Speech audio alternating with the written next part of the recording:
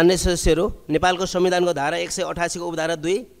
र लुम्बिनी प्रदेश सभा नियमावली दुई हजार उनासीको उपनियम पैँतालिसको उपनियम चार बमोजिम माननीय मुख्यमन्त्री श्री लीलागिरीज्यूले आफूमाथि प्रदेश सभाको विश्वास छ भनी पेस गर्नुभएको प्रस्तावको पक्ष अर्थात् हुन्छ भन्ने पक्षमा जम्मा तेत्तिस मत प्रस्तावको विपक्ष अर्थात् हुन्न भन्ने पक्षमा जम्मा त्रिपन्न मत परेको छ। यसर्थ मान्य सदस्यहरू प्रस्तावको विपक्ष अर्थात् हुन्न भन्ने पक्षमा जम्मा त्रिपन्न मत परेको र सो मत लुम्बिनी प्रदेश सभामा हाल कायम रहेको कुल सदस्य सङ्ख्या सतासीजनाको बहुमत भएकोले माननीय मुख्यमन्त्री श्री लीलागिरीज्यूले आफूमाथि प्रदेश सभाको विश्वास छ